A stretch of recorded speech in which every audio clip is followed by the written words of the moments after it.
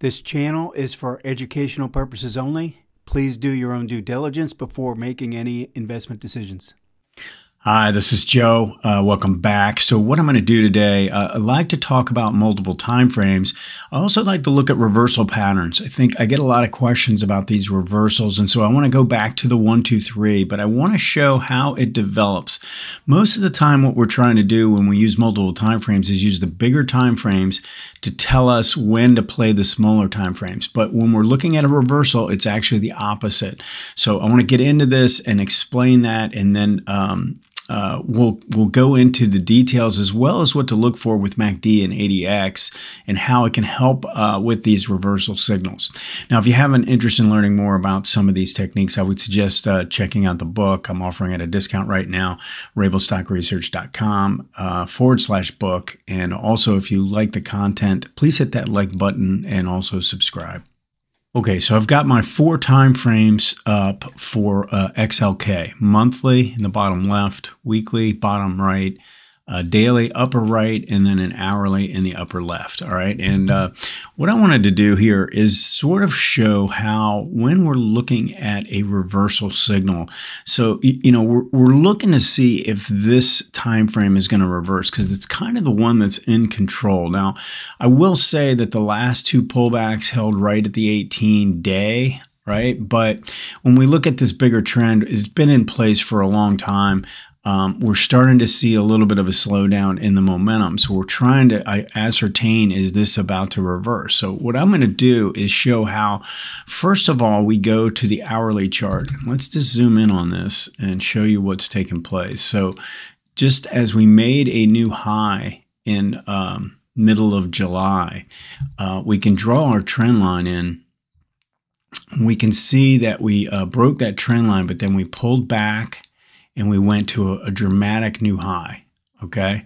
So when that happens, I just take this and I draw a new trend line in.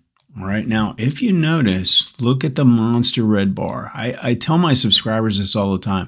Monster red bars, in many cases, can really provide us a lot of insight, especially when added in conjunction to um, something important like the start of a one, two, three. So this is the start of the one, two, three, and it happens on a big red bar. Now, that's the one in a change in trend on this time frame. The two would be the test. Now, the two, the test can be anything from really a third of a retracement back up, um, all the way up to a minor new high where we where this would climb up and just uh, you know move up to just a marginal degree uh, above that prior high before turning back down. But in this case, this is kind of your classic lower high, retrace about one half to five eighths of of this decline phase. We, we retrace back up, and now we work our way back to the downside. Now the three in this pattern is this this break. So one is the move to the downside, two is the test, and then three is taking out the low of the decline that started the move. All right. Now, if you notice, it happened via a gap. One of the things I like to do, though, is to know whether I'm on the right track. Is this truly a one, two, three reversal? What we can do is we can pull up the daily chart and make sure that we're breaking the 18 day. All right. It, it, would be very rare. It does happen, but it's very rare to have a classic one, two, three on the lower time frame and have the higher time frame be above a rising 18. So I, I'm constantly on the look for a one, two, three reversal in one time frame that corresponds to the break of the 18 day. All right. Now, if you notice the way this is playing out, we've gotten a reversal on this time frame that's causing a break of the 18 on this XLK on the daily. Um, and leading up to that move, this made a higher high, but the MACD made a lower high, and so did ADX. So we had signs of divergence, momentum divergence, momentum slowing. We had kind of a nice little red bar as it tried to break out. So if I see a breakout pattern and then it has one kind of tiny bar and then a big red bar. That's usually a sign that doesn't really want to follow through right now. So anyway, we get that break. Now, if you look at this time frame and we do the same thing, same thing that we were doing back here, you can see that we are now breaking the trend line on this time frame. All right. Now, so we start with this one. So it's almost like it rotates this way if we're reversing. All right. If we're looking for a trend play, we kind of want these already moving in the direction we want to play, the direction of the trend, and then look for a pullback on the smaller time frames to play in the direction of these. But when we're looking at a reversal, it's the opposite. We're going to have um, this start to move to the downside with a with a one two three to the downside. Then we'll get a one two three on this time frame. So right now we're only we only have the one. We're going to need some kind of a retracement test or something. Maybe come back up to the 18 or something like that.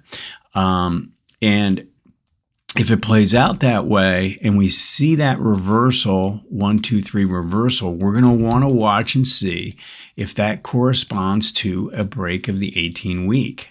All right. Now, if we get the break of the 18 week and we get a move here and we make a one, two, three, then we're going to want to see if that corresponds to a break of the 18 months. Now, I'm getting way ahead of myself because I really don't think that's in play here. I don't think we're going to see, at least not right now. I'm not really, it's not in my head. Now, that could change based on the price action over the course of the next, you know, uh, one to two weeks. Based on the way this plays out, if the if the volume really starts to pick up right now we don't have a lot of volume in this xlk that's telling me we need to get ready for something big.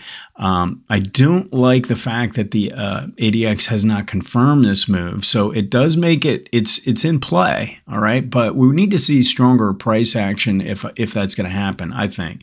Um, but just these are the types of things i think you want to be on the lookout for right? If we have a um, a, a, move that's been going on for quite some time. So if you go back to the early 2023, this has been up for a long time. What do I talk about is the longevity of a trend. So if a trend has been in place for um, an extended period of time, we always want to be on the lookout for signs of reversal. And again, it's going to start on the smaller time frame and then work its way back down to the lower time frame. Now, uh, one of the other things I wanted to point out is that um, we want to see if we're going to get a reversal pattern on the on this time frame. We typically want to see MACD crossing back down through its zero line. So there should be confirmation from that standpoint. If we're getting that one, two, three, when this crosses to the downside, we want to see the MACD uh, sort of confirming that. All right. And again, it's a, um, you can see this reversal coming back to the upside where we crossed above. All right. Now we did have overrun here. I don't think this really qualifies as a reversal. So we're not using the MACD to determine the reversal. We're using the MACD to support evidence that we have a reversal. Okay, I hope that makes sense. So if price is forming a one, two, three, we want to go and see if uh, MACD is confirming that. Um, same thing if we're turning back to the upside, we want to see that confirmation. All right, now because of the ADX lag, there's a lot of lag in ADX, and at reversals, when there's high volatility, big bars cause lag. So when we have lag, we shouldn't really be looking for the ADX to confirm. You see how ADX actually confirmed that peak and it confirmed this low? Red was in charge at the low here and green was at charge at the top here. Now, every now and again, you will get a peak where the ADX dies out, but we can't assume that's going to happen. We have to assume um, if we get that opportunity, then it's a lay. I mean, it's like uh, really nodding its head, uh, nodding its cap, and giving us a really early warning sign. But many times, we will not have that in a reversal signal. All right. So this is the one, this is the reversal off the low, and this is the reversal off the top. And neither one of those really gave us any signs on an ADX basis that that was coming. So you have to do your work on a price basis. And many times, most of the time, you'll get confirmation on a MACD basis uh, of that time frame. But your fail safe is to make sure it's happening in conjunction with um, the 18 on the next higher time frame. So if this is happening on an hourly, we're looking at the daily chart. We want to see it breaking that 18 on the next time frame. So these are the kinds of things I would really recommend to be on the lookout for. And, and I think, you know, watching the XLK uh, is pretty important here. Um, again, I'm not really of the opinion that this is just going to fall apart. We might end up getting a correction on the monthly, though, uh, for it to come back closer to the monthly, uh, just based on what's taking place on an ADX basis on the weekly. Uh, but we have to follow the shorter term frame frames to know that if this never forms a one, two, three, then we don't have any, we're not looking for any kind of a drop on this time frame. You see what I mean? So we we use this time frame to say, okay, we're getting a drop on this time frame. Now the question becomes, is this going to turn into a consolidation or is this going to reverse and form a one, two, three? If that happens, then we know we've got something a lot more meaningful taking place here based on the fact that the ADX is not confirming. All right. So, um, anyway, hope this is uh, helpful. Let me know if you have any questions. Thanks.